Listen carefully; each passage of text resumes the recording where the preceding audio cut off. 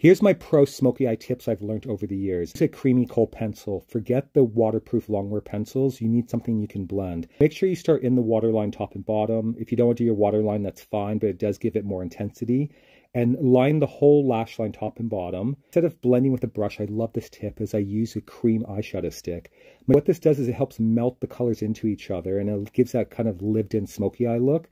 So after you've done the bottom, start on the top and work it all the way up to the crease. Instead of blending the edges with a brush just by itself, I'm using a powder foundation.